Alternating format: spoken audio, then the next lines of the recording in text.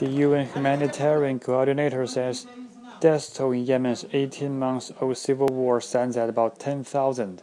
We know that uh, in this situation here, over 10,000 people have been killed or injured during this conflict. Uh, the numbers vary, but that's the minimum number we would say. He says he believes the toll might be even higher since some areas have no medical facilities. The humanitarian uh, support or the humanitarian response cannot solve the problems of Yemen, and neither can the military solution. There's only a political solution that can be found. He said 3 million people have been displaced internally and externally as a result of the conflict.